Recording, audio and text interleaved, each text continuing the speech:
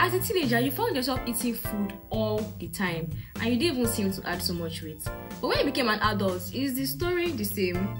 Nutrition isn't a one size fits all thing. What your body needs at age 2 is completely different from what your body needs at age 20 or even 60. This is what we call nutrition through the life cycle. Hi, I'm Essie the Nutritionist, and this is episode 36 of Oh My Gods.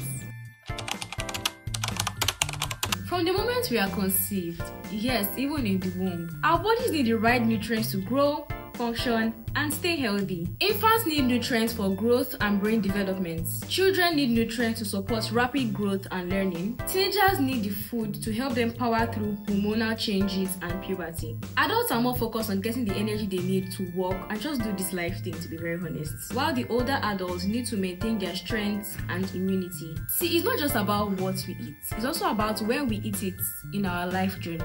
Same person, different season, different plates. Whether you are feeding a child, caring for your parents, or trying to eat better for yourself, understanding nutrition through the life cycle helps you make smarter and more nourishing choices. Anyway, this is just the beginning. In the next few episodes, I'm going to walk you through all the stages of life and what your body truly needs at each stop. So follow me, share this video, grab a healthy snack, and stay tuned for my next few episodes.